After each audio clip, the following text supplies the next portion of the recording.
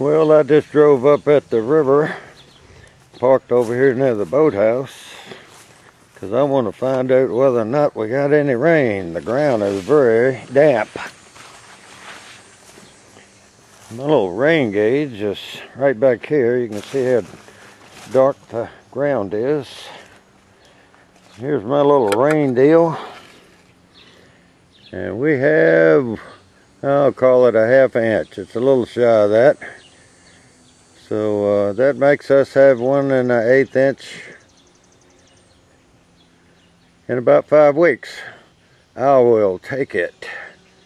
Half inch is great right now because guess what? I don't have to water. You can tell why I came down here today. My son and his wife and family were down uh, yesterday and they said, uh, you got a lot of tomatoes to pick.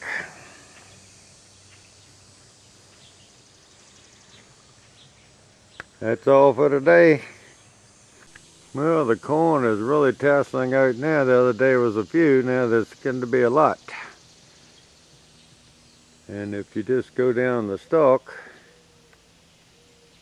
you can see the ears forming. In nature grand, it takes care of itself. All you got to do is uh, look out for it and protect nature and you get these kinds of results. Maybe we can get some corn this year. Well, the tomatoes are uh, definitely getting ripe in here. And the good thing is, if you look in the top of these plants, the other day I couldn't see anything forming. You can look at the video yourself. Nature has a way of saving itself.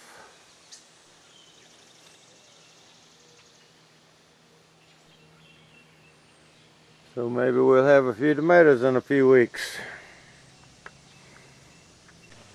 If you have uh, ever wondered when it would be time to pick a fig, here's a prime example. My son was down there yesterday and said the birds were just in this fig tree all day.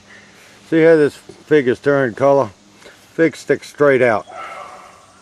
They're very hard. The stems are hard.